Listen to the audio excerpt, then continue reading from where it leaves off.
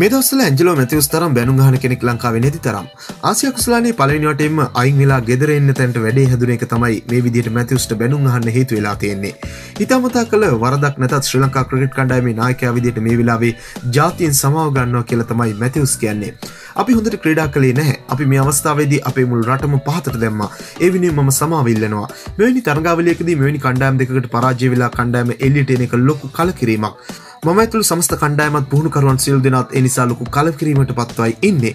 කොහම උත්තර දෙන්නද? ඉතාමත් අවසනාවන්ත තත්ත්වයක් පන්දුවට පහරදීම තමයි තරග දෙකේම බල පැවේ අපිට අවස්ථා දෙකේදීම ලකුණු එකසේ පනක් රැස් කරගන්න බැරිවුණ අපි හොඳ කණ්ඩායමක්. මේක දුර්වල තත්ත්වයක් ආසිය කුස්ලානී ශ්‍රී ලංකාව හම ජයගත්ත බංගලාදේශයත් ඇෆගනිස්ථානයත් සුළුවින් සලකන්න පුළුවන් කණ්ඩායම් නෙමේ කියල තමයි මැතිවස් කියන්නේ. බංගලාදේශය පහසුවට ගන්න බැහ. බංගලාදේශ කණ්ඩායම ක්‍රඩකයන් අකණ්ඩෝ වසර දහයක් පමණ ක්‍රඩා කරලා තියෙනවා. උන් පසුගේ වසර එකහ හමාරක පමණ කාලේ දස්කම් දක්වල තියෙනවා. නමුත් බංගලාදේශයට සහ ඇෆ්ගනිස්ථානයට පරාජීම ගැන කනගාටු වෙනවා. මමිතන බංගලාදේශ තරගයට වඩා හොඳට මේ තරගේ පන්දු රැක්ක. පන්දුවීම සහ පන්දු රැකීම නොවී අවස්ථා දෙකෙදී ලකුණු දෙසිය හැටක්සා දෙසිය පණහක් ඒ තනතිරුවල් ලබාගන්න පුළුවන්. ප්‍රධාන විවේචනය එල්ලවිය යුත්තේ සමස්ත ප්‍රතිකරු ලයිස්තුවටයි අපි පළමු තරගේදී ලකුණු එකසේ පණහට දැවී ගියා. දෙවනි තරගේදීත් එහෙමයි. ප්‍රතිකරුවන් අතින් තමයි මේ තරග දෙකම පරාජයවනේ ම හිතන්න පන්දයවන්නන් හොඳට පන්දයව්වා අපි පන්දුරැකීම ඉහල මට්ටමක තිබුණ නැතිවුණත් මේ තරග දෙකේදීම ලකුණු දෙසිය පණහක් කබා යන්න තිබුණා. ඒ තනතිල් දෙකේම ඒ කරන්න පුළුවන්.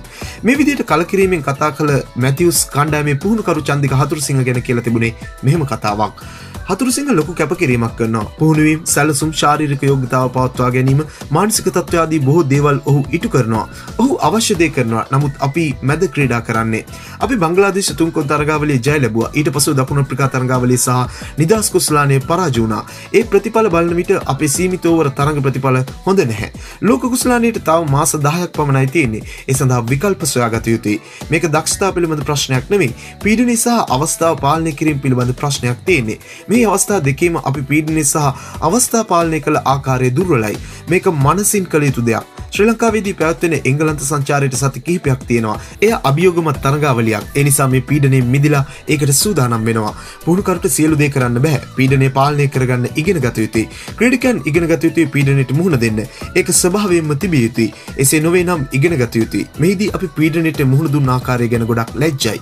මේ තරගාවලිය කුසල් මෙන්ඩිස් ආරම්භක ප්‍රතිකරුවෙක් දිට යොදාගත්ත එක සම්පූර්ණයම අසාර්ථකුණා දකුණ අප්‍රිකාවක දිනප එක්දින තරග දෙකීම ආරම්භ ප්‍රතිකරු විදිට ඊටිය දික්වල්ලත් තරංග තරංගත් දෙන්න මේ තරගාවලිය යොදා නොගන්න තීරණය කරපු එක නම් පුදුම තීරණයක්.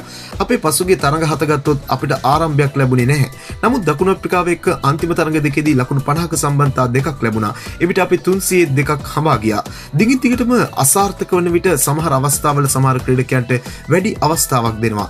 නමුත් එක අවස්ථාවක් කෙනවා එහිදී පුහුණුකරු සහ තේරීම් කමිටුවත් සමු කතා කරලා අවශ්‍ය පියවර ගන්න. දැන් අපිට අවස්ථාව පැමිණ තිබෙනවා. එංගලන්ත සංචාරයට පෙර පුහුණුකරු සහ තේරීම් කමිටුවත් සමග සාකච්ඡා කරලා තීරණයක් ගන්න බලාපොරොත්තු වෙනවා.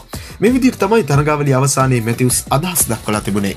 මෙවැනි වීඩියෝ දිනපතා බලන්න අපත් සමග එකතු වන්න. ඔබ තවමත් අපේ channel එක subscribe කරලා නැත්නම් දැන්ම අපිව subscribe කරන්නත් ක්‍රිකට් වලට කැමති ඔබේ යහළුවෙකුට බලන්න මේ වීඩියෝ එක share කරන්නත් අමතක කරන්න එපා. ක්‍රිකට් පිටියේ නැවුම් දෙස් අපිරි තවත් අලුත් වීඩියෝකින් හමුවනතුරු ක්‍රිකට් ලංකාවෙතින් ඔයාට සුබ දවසක්.